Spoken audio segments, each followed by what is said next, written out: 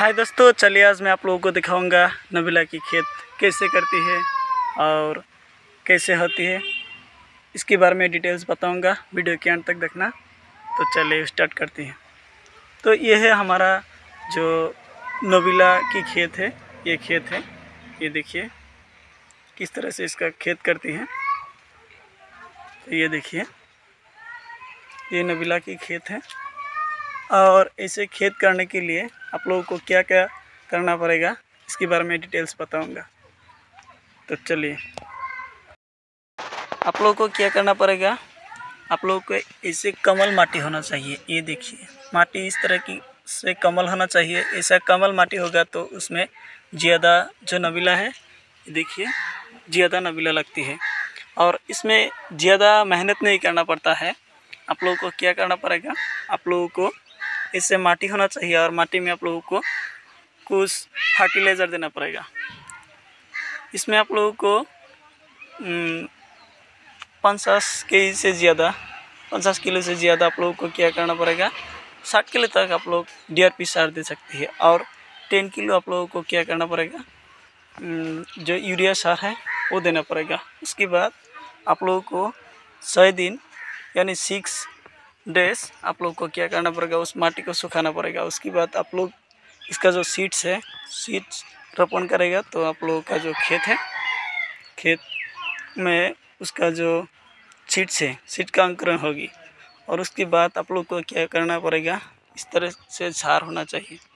ये देखिए, इस तरह की झार होना चाहिए। दोनों साइड से आप लोगों को क्या करना पड़ेगा, ऐसा झार होना चाहिए।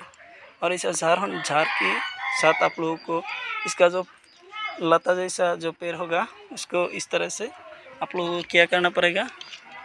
ऐसे ऐसे करके आप लोगों को इसमें करा देना पड़ेगा। और उसके बाद कुछ दिन बाद इसका जो पेड़ होगा, पेड़ बड़ा हो जाएगा। आप लोगों को तीन महीने, यानी नाइन्टी डेज़ में आप लोगों का जो फ्रूट, यानी जो क्या कहती है, नबीला कहती है, ये नबीला आ जाती है। और उसके बाद आप लोग को क्या करना पड़ेगा? बारिश के मौसम में ज़्यादा नहीं होता है। आप लोग जो शीत का मौसम होता है, उसमें ज़्यादा होता है। लेकिन हम इसको बारिश का जो महीना होता है, तब भी हम इसका खेत कर सकती है। और इसमें ज़्यादा बेनिफिट्स भी है और इसमें ज़्यादा पैसा भी है। आजकल इसका किलो बहुत ज़्यादा, इसका दाम बहुत ज़्यादा है। पचास से साठ रुपया किलो होता है। यानी आप लोग अगर एक बीघा माटी इसका खेत करेगी तो चार से पाँच लाख रुपया कमा सकती है। लेकिन आप लोगों को एक मौसम देखना चाहिए। अगर आप लोग इसका जो फास्ट मौसम है, तब आप लोग इसका खेत करेगी तो आप लोगों को ज़्यादा पैसा मिलती है। तो इसके बाद आप लोगों को एक मेडिसिन देना पड़ेगा। ये जो फूल है, ये फूल को रखने के लिए आप लोगों को क्या करना पड़ेगा? एक मेडिसिन देना पड़ेगा।